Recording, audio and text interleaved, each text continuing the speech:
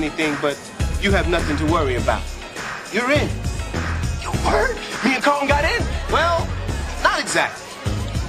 I mean, you're cool and all, but Carlton, well, he's not exactly our type.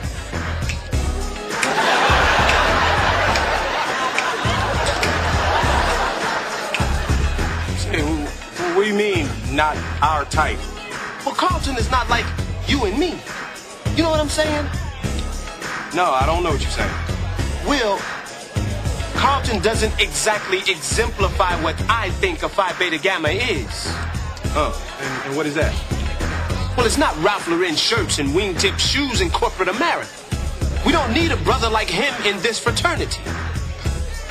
Man, he is exactly what you need in this fraternity. Carlton has been a straight A student since preschool. He gives you 150% every time. Look, Will, I realize he's your cousin and you have to defend him. But this discussion is closed. All right. Car-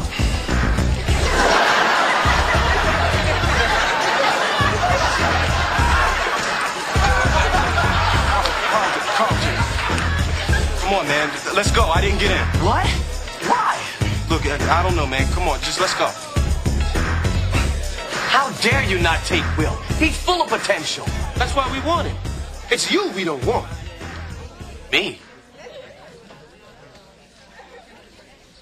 But I did everything. I cooked, I cleaned, I hand washed the toilets. Everything your butler does for you. I'm not accepting no prep school Bel Air bred sellout into my fraternity. Homie, you can stop all No, that. wait, Will. I got this one. You think I'm a sellout. Why? Because I live in a big house or I dress a certain way? Or maybe it's because I like Barry Manilow. Uh, been Barry White, y'all.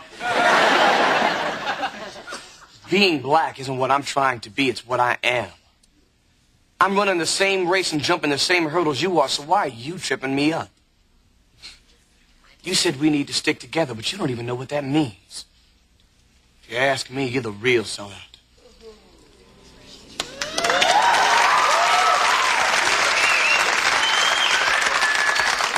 Yeah, that's right, boy. And in the words of my illustrious cousin, we gonna make like a tree and leave.